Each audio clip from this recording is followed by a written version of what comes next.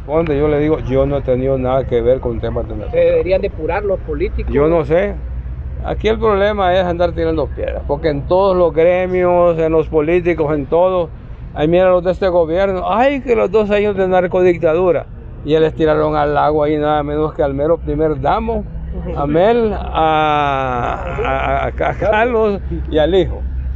Y, entonces de qué estamos hablando, no hay que tirar piedras, Presidente. sobre todo cuando uno fundamenta las acusaciones en lo que alguien dice sin haber sido juzgado.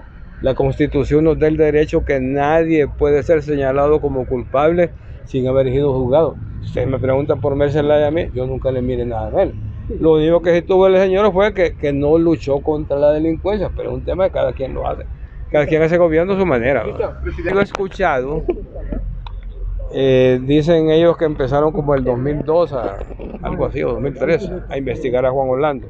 Yo nunca le miré nada, no puedo decirles si está o no está, porque recuerden que son actividades que no se hacen a la, a la como dicen, a la luz pública, o, y no que se hacen escondidas, hombre. Ahora, Así ¿usted, es. usted siente que detrás de estos casos, presidente, hay algo que los quiere señalar, que los quiere involucrar? Le digo esto porque todos los presidentes, desde Zelaya para atrás, estamos con, con este conflicto. No, si es que ustedes miran, en todos los países sucede lo mismo. Ustedes se sientan en ese tribunal de Nueva York y la telenovela que están viendo hoy la van a ver en todos los casos.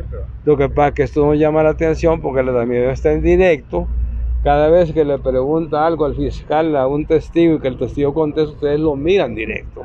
Pero siempre es así. Solo que no con la, con la difusión que ha tenido ese- este juicio de Juan Orlando. El Partido Nacional, ¿cómo queda? Y con, y con el Partido ¿Tiene Liberal. posibilidades de ganar las próximas elecciones? Y pues cualquiera las puede tener porque están empatados. ¿Y a quién no han mencionado allá? A todos los han mencionado.